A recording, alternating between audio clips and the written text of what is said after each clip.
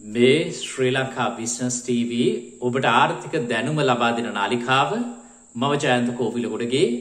මේ වීඩියෝ කෙන විමසා බලන්නේ ෆිච් රේටින් ජාත්‍යන්තර ණය වර්ගී කරන ආයතනය ශ්‍රී ලංකාව සම්බන්ධයෙන් කරපු අලුත්ම අනාවරණය. මේ වන විටත් මාධ්‍යය මේක වාර්තා වෙනවා. හැබැයි අපි මේ කාරණය ඔබට සරලව අවබෝධ වෙන විදිහට කියල දෙන තමයි සූදානම් වෙන්නේ.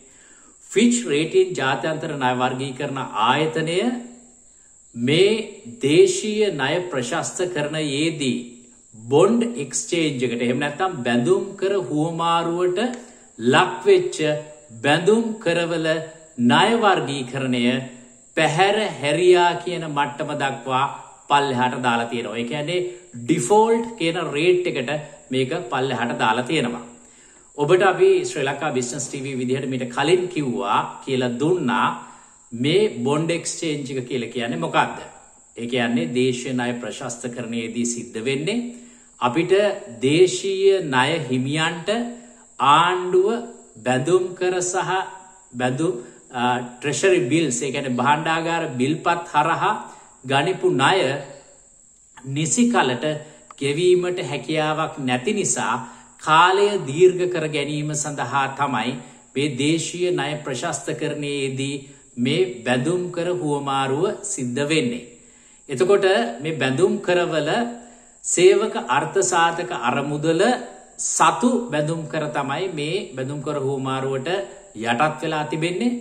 ඒ අනුව දෙදහස් විසි තුන එකැන මේ වසරේ කල්පිරෙන බැඳුම් කරවලින් සියයට පණහක් එවගේම දෙදහස් විසි හතරේ සිට තිස් දෙක දක්වා කල්පිරෙන බැඳුම් කර නමයක් සීයට සීයක්ම ඇතුළත් වන විදිහට ඒ වෙනුවට අලුතෙන් බැඳුම් කර දොළහක් නිකුත් කරනවා ඇත්‍රමික නිකුත් කරලා තියෙන්නේ ඒ අලුත් බැඳුම් කර කල්පිරෙන්නේ දෙදහස් විසි හතේ ඉඳලා ක්‍රමාණුකූලව දෙදහස් තිස් අට දක්වා.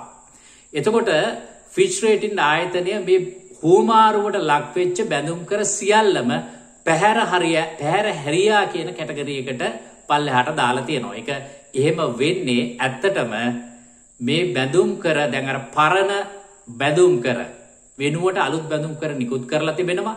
තුරට පරණ බැදුම් කර වලට ඒ ගිවිස ගත් පරිදි මුදල් ගෙවීමක් සිද්ධ වෙන්නේ නෑතරම එක පැහැර හැරි යා කියන එක සහතික වෙලා තිබෙනවා මේ බොන්ඩ් එක්ස්චේන්ජ් එකත් එක්ක. එතකොට ඒ නිසා තමයි ෆිච් රේටින් ආයතනය ඒ බැඳුම් කර මේ ඩිෆෝල්ට් කියන කැටගරීකට දාලා තියෙන්නේ.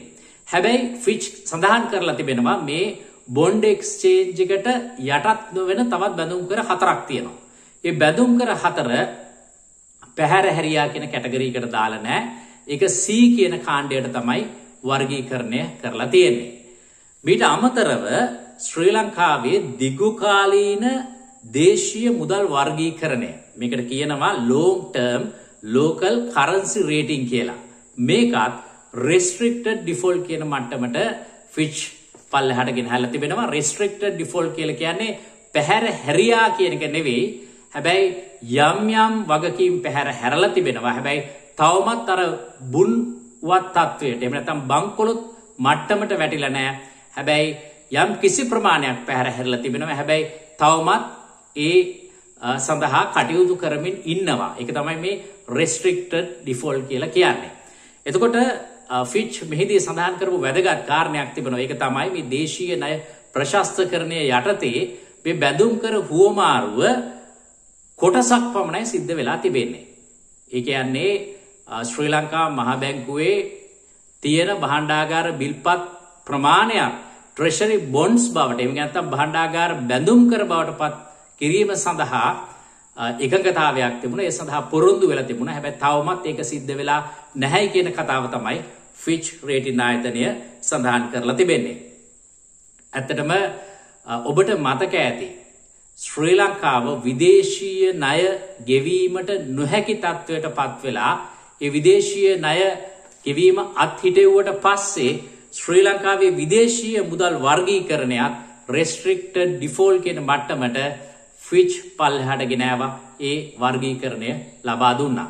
එවගේම ෆිච් සඳහන් කරලා තිබෙනවා මීට පස්සේ ශ්‍රී ලංකාවේ විදේශීය හා දේශය මුදල්වලින් නිකුත් කර තිබෙන බැඳුම් කර සඳහා වර්ගීකරණයන් දෙන්නේ නෑ මොකද ඒ සියලු බැඳුම් කර තියෙන්නේ ෆිච් වර්ගී කරන වර්ගීකරණය කරන මට්ටමෙන් පල්ලෙහා තැනක කියලා. එතකොට මෙට මේක තමයි මේ ෆිච් රේටින් ආයතනය අද කියපු එමනතම් අද ලබාදීපු වර්ගීකරණය පිළිබඳ කතාව.